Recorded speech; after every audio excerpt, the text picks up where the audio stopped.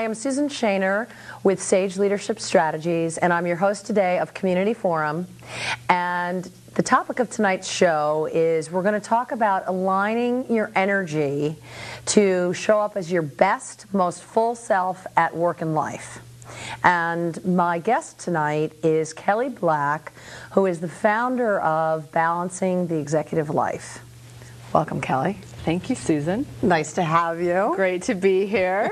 so, I want to let our audience know that you and I are colleagues and we partner on different projects together.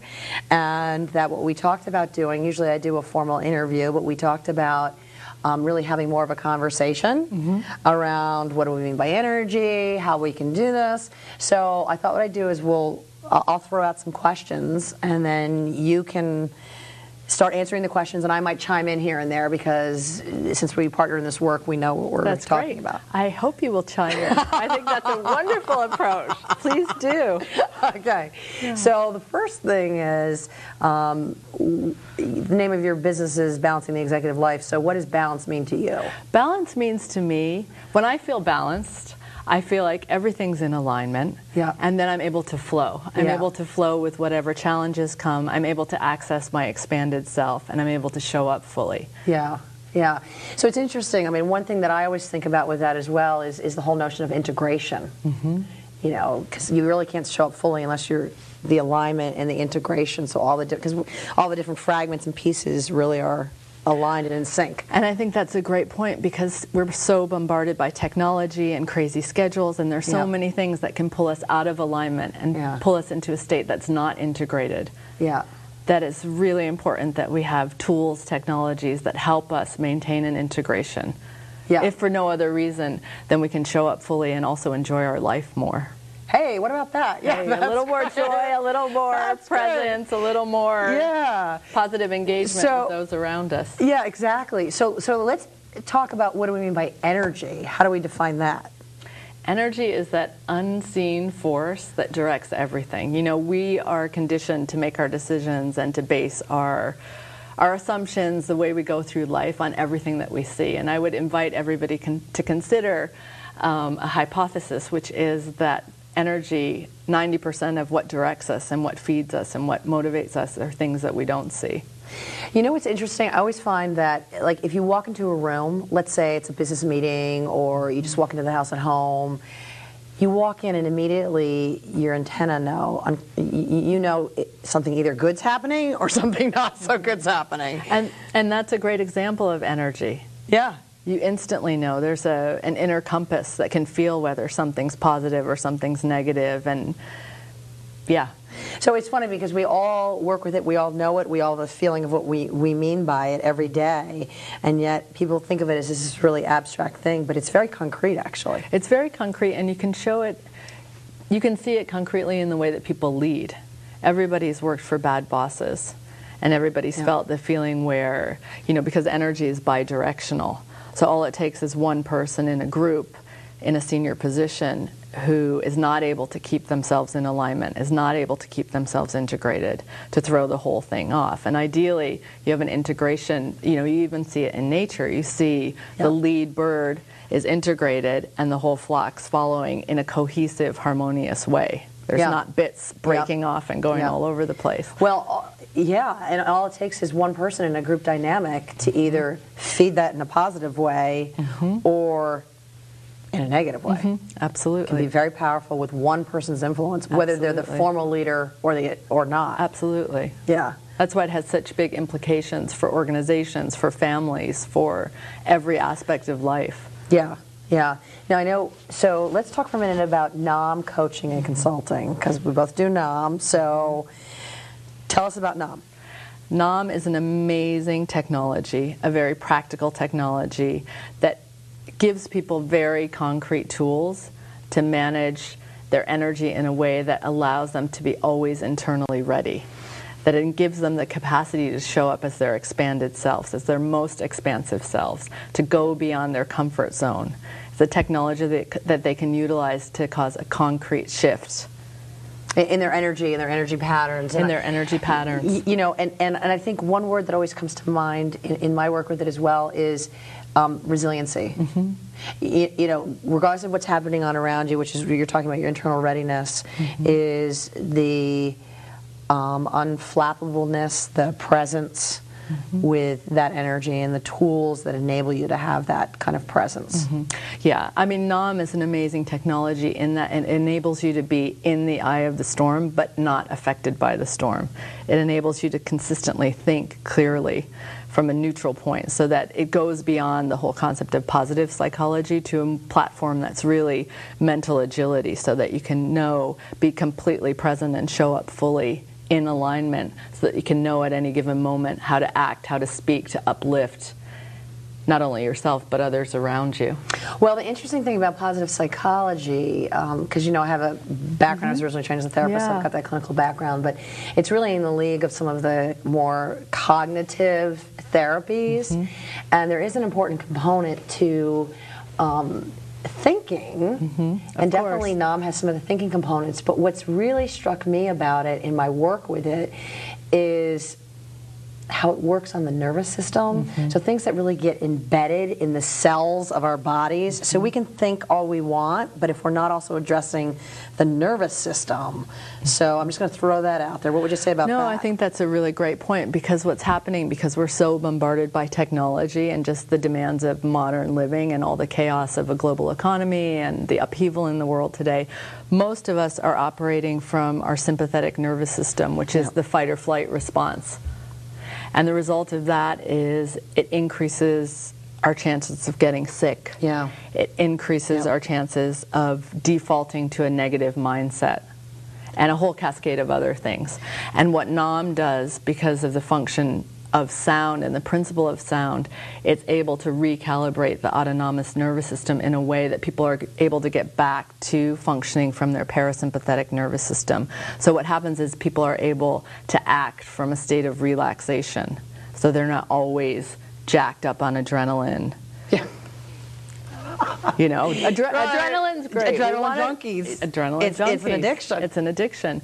And the thing Yeah. is, our systems weren't meant to be on adrenaline 24 7. So when that happens, not to get too far into a scientific discussion, but when that happens, our immune system starts to break down and a whole host of you know, physiological. Yeah, but you're hitting on a couple of things. One is it's grounded in science, Mm-hmm. and and the second thing that you said is is that um, when our sympathetic nervous system is overstimulated, Mm-hmm. it can be all too easy for a whole cascade of things to happen, Mm-hmm. such as negative thinking. Exactly. And in fact, there's studies, it's really interesting. There's studies that show that when we're in our sympathetic nervous system, which is basically the stress response, Yeah. what happens is our brain becomes a co conspirator in defaulting to self limiting patterns. And negative thinking, negative behaviors, all the whole whatever Yeah, falls under yeah. the umbrella of self-limiting patterns. And in fact, um, last August there was a big article in the science section of the Times, basically calling for technologies that help change that response in us. And Naam is one of those technologies that can do so in as little as a minute. Yeah. So it's very applicable. It's something people can do when they're driving. It's something people can do before they go into a meeting.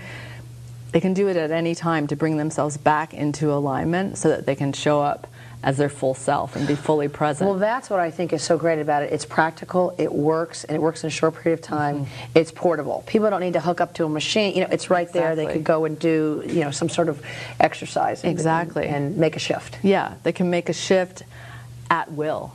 Yeah. At will because all the tools are portable. They don't need to go. I mean, we all have like to think we have great physicians, great Right, healthcare right. professionals that support us, but we can't always go get to somebody's office or take an hour out of our day or more to go Right. see someone to recalibrate ourselves.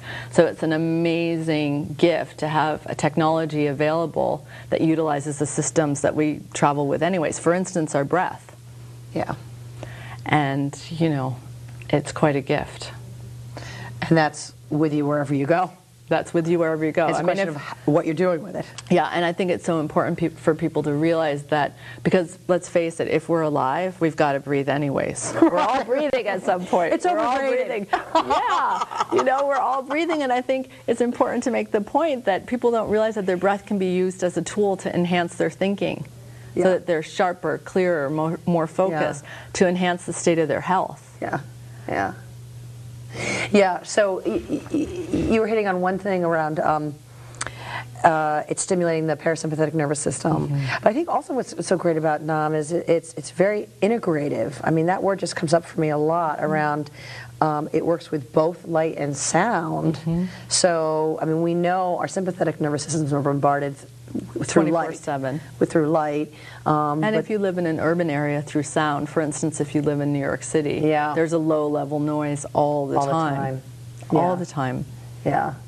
So just raising your yourself to above a level where it's not it's no longer affecting you in a way that's well taking away. yeah and just how it Im- Naam positively impacts so many things that we have to do as human beings so we mentioned breathing Yeah. it also affects the caliber of our speech yeah. so how we communicate Yeah. and how effective that communication is. So say more about that. So how does it do that and in what ways does it do that?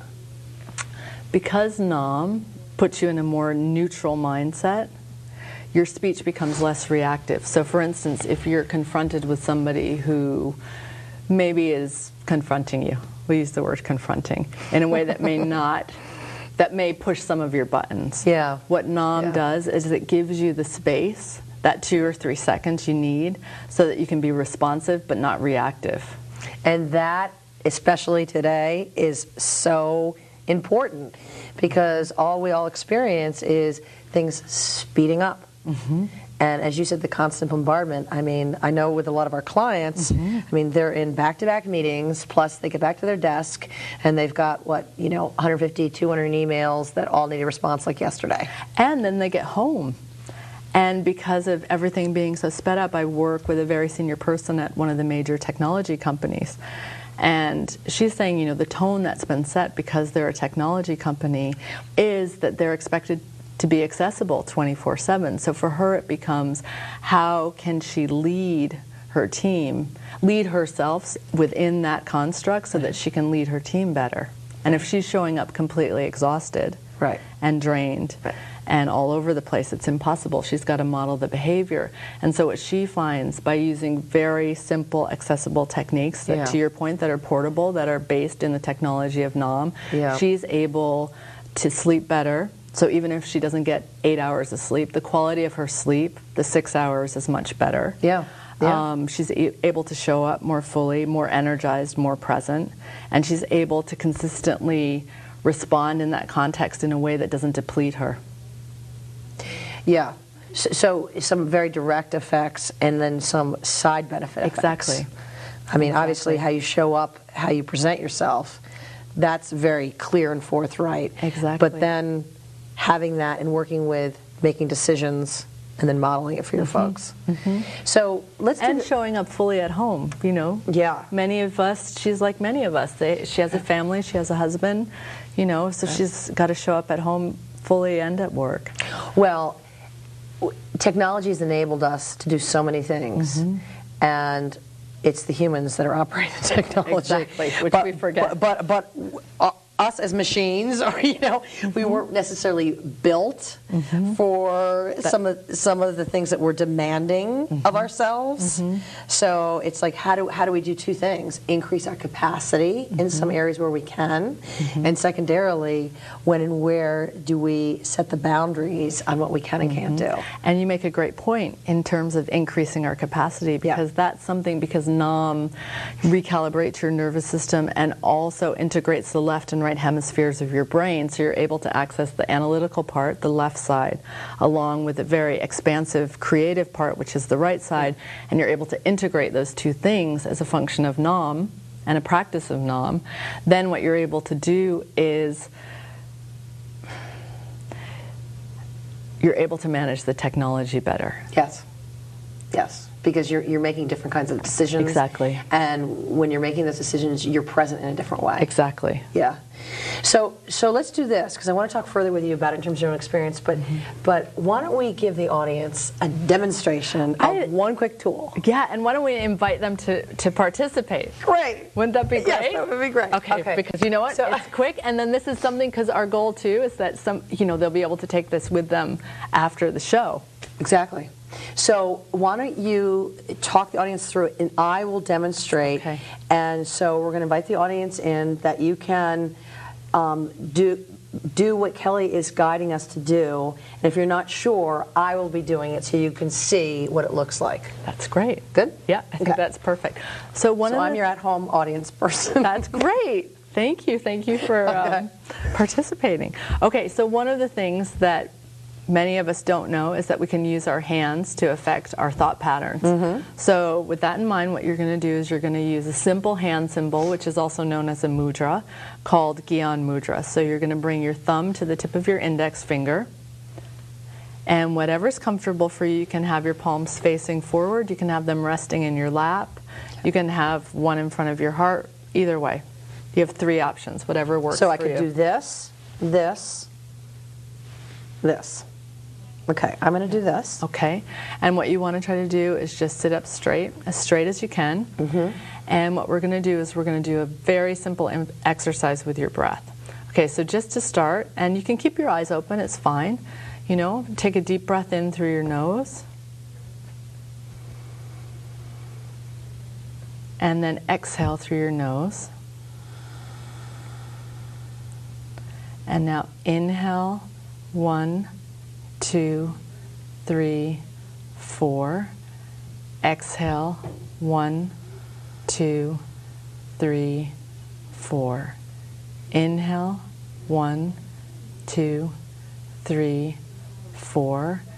Exhale, one, two, three, four, five. Inhale, one, two, three, four. Exhale, one, two, three, four, five, six. Inhale, one, two, three, four. Exhale, one, two, three, four, five, six, seven. Inhale, one, two, three, four. Exhale, one, two, three, four, five, six, seven, eight. Inhale, one, two, three, four. Exhale, one, two, three, four, five, six, seven, eight, nine. Inhale, one, two, three, four. Exhale, one, two, three, four, five, six, seven, eight, nine, ten, and then inhale and exhale at your own pace. And that's it. How do you feel? I feel really relaxed. Yay! Yay! So that's I do. That's awesome. So- and you know, um, the reason we keep extending the exhale that way is because your exhale corresponds to your nervous system.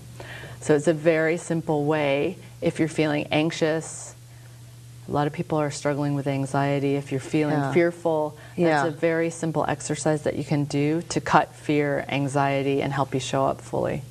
And, and that's what this particular one's for, but we mm-hmm. have them for all different kinds of. Oh, yeah, it's a very, very vast Yeah. science, which is why it's categorized as a therapy. And it's why it's being implemented not only in companies and organizations and community centers in every sector of society that you can think of, but it's also why there's a whole non biomedical society that's doing studies, clinical studies, and research at Sloan Kettering and in other places to Yeah. document the beneficial effects of Naam on the brain and on health. Yeah, so eh, it's probably important for our audience to know that this is actually this one little simple little exercise. I mean, how long did that take? Like a minute? Yeah, it, this is something that takes a minute to a minute and a half, depending on how, how you're counting. you know, if you're counting one, two, three, I four, was like, five. I was like really. Just kind of- I mean, I have good lung capacity, but I'm thinking, lung I hope, capacity. I- right? Because obviously I practice, but I'm like, wow, I hope everybody at home. This is this is But not so thing- slow for them, right? The thing that's amazing What would happen? is Yeah. what you find is because of the way the breath, because it's so. This is a science, so the way it's calibrated automatically has a certain effect on both hemispheres of your brain and on your sympathetic and parasympathetic nervous system. So even people who breathe very shallowly find they're able to extend their breath. And most people can get to the end. Yeah, so I think the important thing is where, if anybody was trying this at home with us, mm-hmm. thank you, bravo. right? Bravo, yeah. And that if they found like, oh, it was counting too, so they could always modulate Exactly. the count for what's going to work for them at the beginning. And the more they do this, the greater their, in, you know, they'll increase their lung capacity over They time. They will. They will. Yeah. And the thing is, you know, I have quite an amazing example. One of my clients who's a partner in a law firm, she, before she engages with her clients, and before she goes into court, she does um, family law, so she handles a lot of divorces and That are probably tense situations. They're a little tense, but what she has done is she contracts with her clients as part of working with their firm that they do this exercise before they start the meetings. And great before they go into court, because what she's found is uh, it's, she's able to get it done quicker, save her clients money, and manage the time better. Because it resets everybody. Exactly. So this, especially in a situation like that, Exactly. That has potential to be very high stakes, High volatile, anxiety. high anxiety. a lot of fear Yeah. where you're going into negotiation. Exactly. And, the, and it's really become a value add for her firm. The clients love it. Well, it resets everybody's baseline going Mm-hmm. into it. And then it raises their personal quotient. They're able to show up fully and Yeah. get things done quicker with less stress. So it's a win win for everybody. Yes. And so, really, the challenge is just the invitation is just remembering to do it before you're going into something that's really important. Exactly. Yeah. That's exactly right. So, let's talk about um, some of the successes. And you've mentioned a few examples along the way. Like, give us another example of a challenge that your client had and, and how you addressed it and what some of the results and impact was.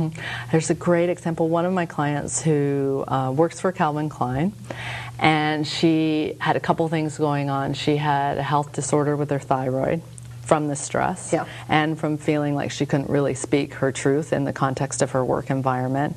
And then she also had a very challenging conflict with her boss, who's very senior. She's quite senior, she's a director there, and her boss reports into the CEO. Anyways, they had a big personality conflict, and it's a great example of how one person shifting their energy will shift the whole thing. So this is somebody who was very reactive, got put on probation, found herself very frustrated because she is able to do her job well, but it was really a conflictual personality mm-hmm, conflict mm-hmm. situation that she Yeah. wasn't going to win the way she was doing it. Yeah, yeah, yeah. So this is also somebody who had done more well-known things. She had gone, done conventional coaching, traditional coaching, traditional therapy, all the traditional things, helping things that are amazing. But what she found is that she still wasn't getting past a certain point. She, point. she was still stuck in certain patterns, which is how she ended up coming to Naam coaching. Because actually, when you're into that behavior pattern, mm-hmm. you're ta- all you need is something that taps into your trigger, mm-hmm. and it taps into your primitive mm-hmm. brain, your amygdala, gets hi- uh, hijacked, and you're off and running on that Before you reaction. even know it. It's not. It happens so quickly. Yeah. So this kind of cuts in to that reaction. So Mm-hmm. take us through that a little bit. And so what I had said to her, and I, and, you know, and all of this seemed different from what from the tools and techniques she was used to using. Yeah. But she was in a tough spot, so she Yeah. was quite open to the invitation to try something new and to get out of her comfort right? zone. Yes. Anything at this point. Yeah. And I said to her, you know, and she's a very concrete person. She's a businesswoman, and I said to her, you know. Let's not get too far ahead. Let me give you some things. Let's see how you can apply it this week. And if you see a sh- things starting to shift, then we can take it from there. Mm-hmm. You know, I don't expect you to make, you know, you don't know me. Right. So Yeah. why should you make a leap of faith, especially when you've done all these Other things different didn't other work. things, right? Exactly, that were really tough for you. Right. So that was agreeable to her. She started with this breathing technique before she that we just went through. Mm-hmm.